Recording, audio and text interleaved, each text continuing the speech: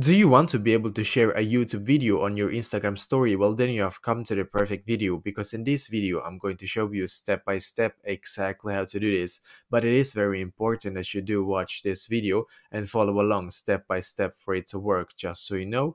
And the first step is going to be for us to, of course, go into YouTube. So if you want to be able to share a YouTube video on your Instagram story, then firstly, you need to find the video that you want to be able to share. So I'm just going to take this video right here just as an example. Now what I'm going to do, like when, it, when this video is playing, as you can see, I'm just going to actually click on this symbol right here because this symbol, I'm going to scroll down in here, this symbol right here, as you can see, this is the share symbol. So click where it says share in here and then you should be taken here as you can see. Now when you've like been taken to this page then you're going to click where it says copy link. So click on copy link.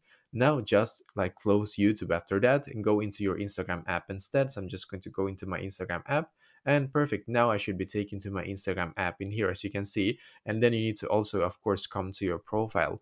Now on your profile, you're going to firstly click on the plus symbol in the top right corner. So click on the plus symbol. Now in here, you're going to click where it says story. So click on story now select like a camera in here or you can also by the way yeah you can select camera actually. Now you're going to click where it says a and a. As you can see small a and a, like a little a in here as you can see because then you should be taken here.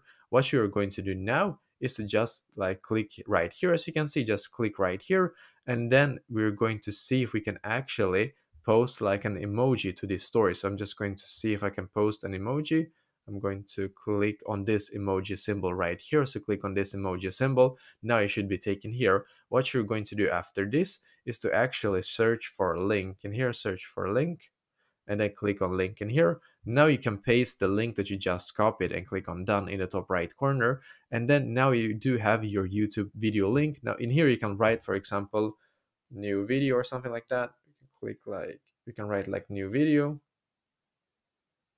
and basically now you can click where it says your story in the bottom left corner. And that is basically exactly how to share your YouTube video on an Instagram story. So let me know in the comments below. Maybe if you have any questions and I will try to answer to as many as I can. And also I wish you the best day.